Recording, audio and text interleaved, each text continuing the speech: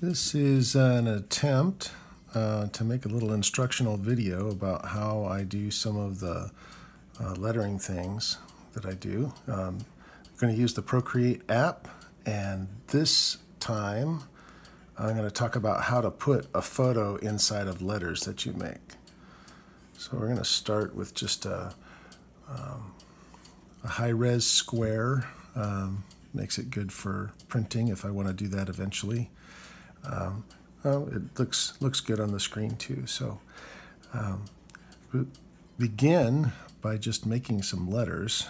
So I'm going to pick one of my favorite tools. I um, kind of designed this uh, folded pen brush here. It behaves somewhat like um, like a real folded pen, uh, which I like a lot. So that's why I'm uh, using it.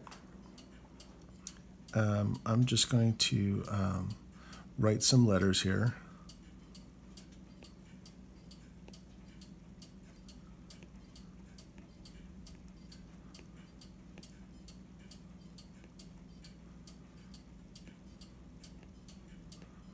Oh, running out of room. No problem. Just gonna cheat.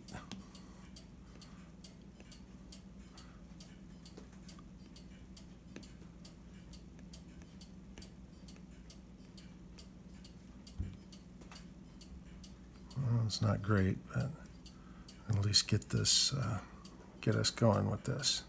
So this is going to be my uh, image of the letters. I think I'll at least try to straighten it up a little bit.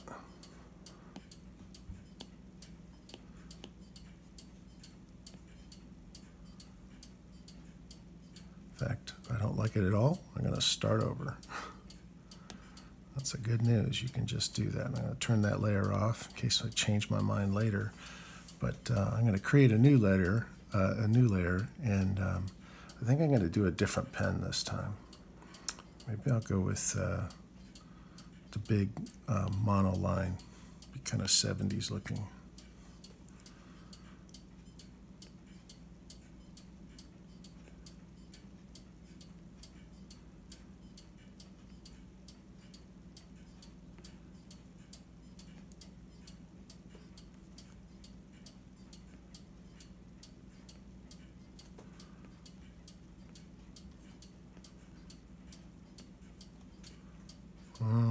don't know if I like that either.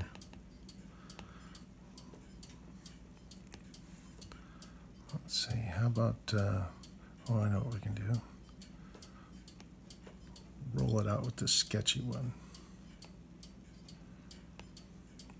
I'm gonna go full thing here.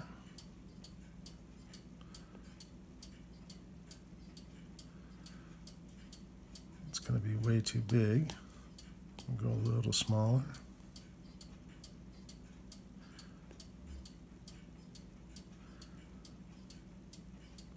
Didn't really mean to do all of these retakes on the letters, but uh, maybe that's helpful for somebody.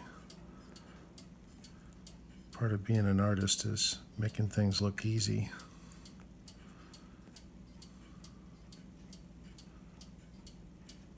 It's probably good to know that even though I do this all the time, I don't get it right the first time, often. Okay, a little smaller here.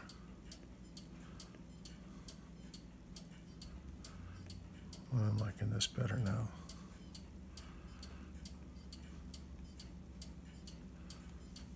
There we go. So we'll just use that as the, uh, the lettering part of it. And then the next thing that I need to do is and I, I need to pick a photo to put inside of this. So uh, just happen to have this one that my my son did um, just today. It's raining out here and uh, cleared up just enough to show a rainbow. So I'm going to um, go in here and add a photo. Uh, let's see. This is it here. And um, I want to position this over the letters that I made. And so there's a couple of different ways that you can do that.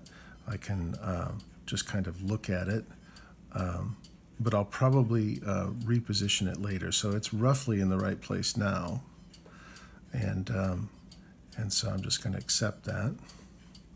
And then I'm going to go over here to the layers and I'm going to make this layer with the photo less um,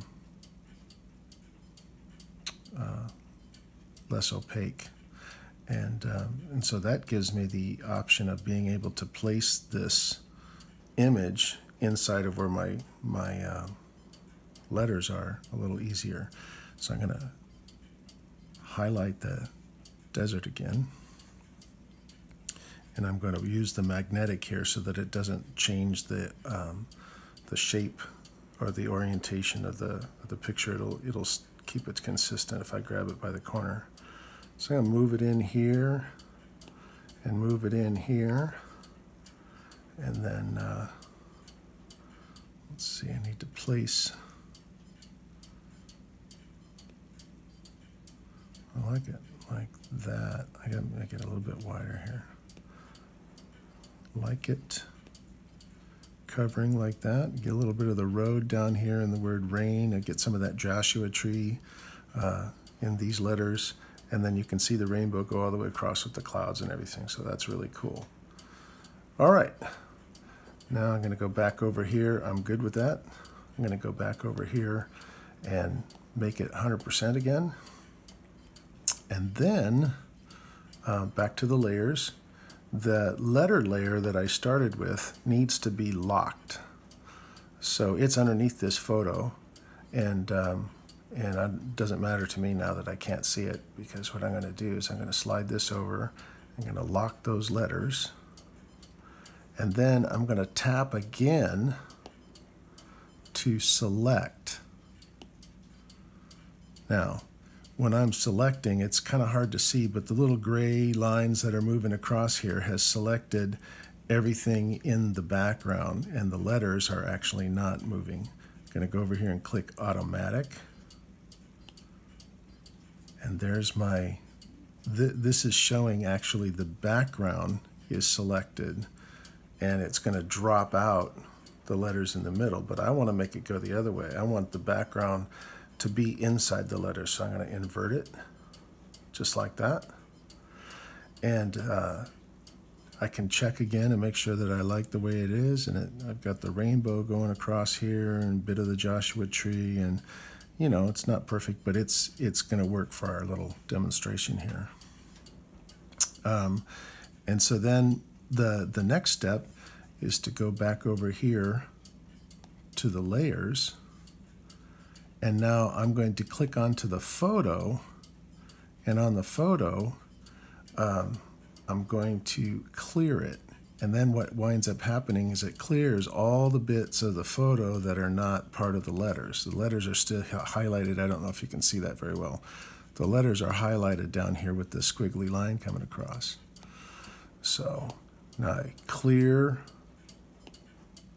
and then here's our photo inside the letters. Looks pretty cool. Um, now, because I'm me and I like doing uh, fun things with letters, I'm looking at this and thinking, well, maybe I could, you know, help this pop just a little bit more um, by uh, creating some kind of a drop shadow or something like that. So then what I'm going to do is back over here to the layers. The layer of the original letters we don't need anymore. Okay. And the layer now that has the photo inserted becomes the one that we're going to use for the rest of the text treatment. So the first thing I'm going to do is alpha lock this. That allows me to uh, duplicate it and then create um, additional colors to put into the, the design. So I'm going to duplicate once and the first time I'm going to do this this first one that I'm going to do I'm going to turn it white so that I can have a, um, a highlight on the top of the letters then I'm going to duplicate again and I'll make a black version and I'll duplicate again and I'll make the one that I'll turn into the drop shadow. So um, first thing is the highlighted part. um, I'm going to select this one here.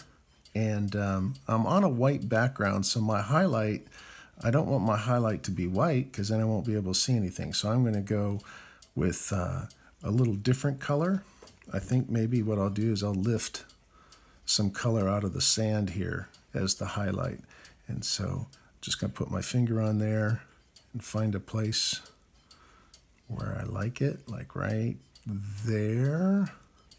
And then that becomes my highlight color.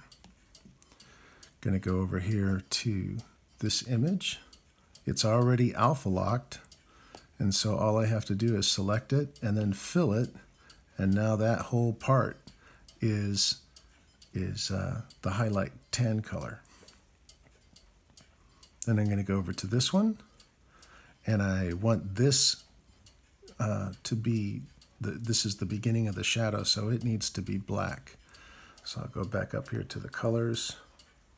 going to select a black out of my palette, which you can see is not completely black. I'm going to make it completely black. Just drag it down here. And I'm going to fill that layer. And then this one, I want to have the same black, although I'm going to use it differently. So I'm going to fill this one black too. Okay, so now how do we get um, how do we get these uh, different colors underneath the original photo to um, work the way we want? Go back up here to the highlight, and I'm going to zoom in so that I can see it better, see what I'm actually doing here. So I'm just picking a place in the image, doesn't really matter where it is. So I had already selected um, the highlight color layer. And so now I'm going to um, use this button here, the freeform, to select that layer. And then I can move it just by dragging a little bit. You see that? And I could actually move it all the way out here like this if I wanted to. But all I want to do is just give a little glow to the edge of the letters to make it look like I got a little bit of light hitting it from somewhere. We're not really sure what. It also kind of makes it look like maybe these letters are cut out of a piece of wood or something. Okay, so I'll leave it like that for now. And then I'm going to go down here and do it with the black too. On the black layer, I'm going to pull it back the other way. So I have the highlight showing, and then I have the black showing.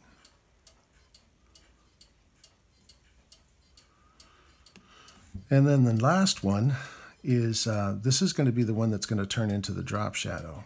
Now, um, so I'll, I'll, just do it first. I'll highlight it and I'll pull it down here and I'm going to make it like much bigger than, than that original edge there. Now, uh, you could leave this like this and it would, it would look fine. Um, but I kind of like my drop shadow to, um, to have sort of a, um, a blurred look to it, you know, so that it's a softer kind of a drop shadow.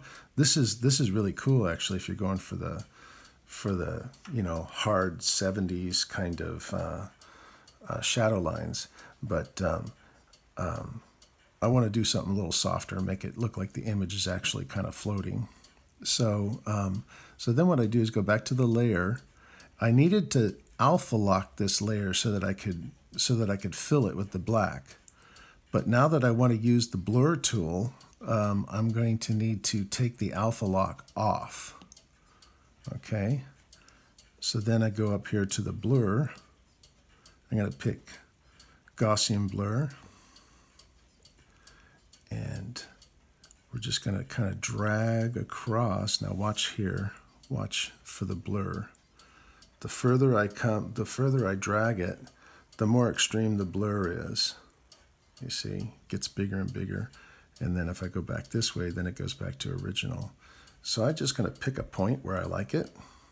I think I like it right about there. That's about right. And then I'll exit out.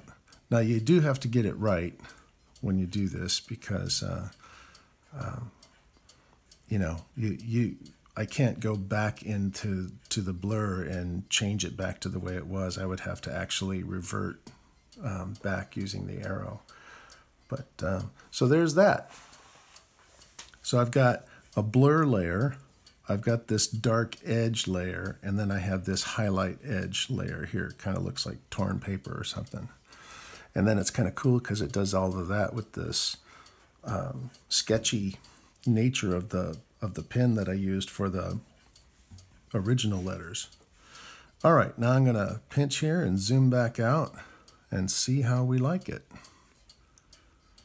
And I like it. So, quick review. You make your letters first on one layer.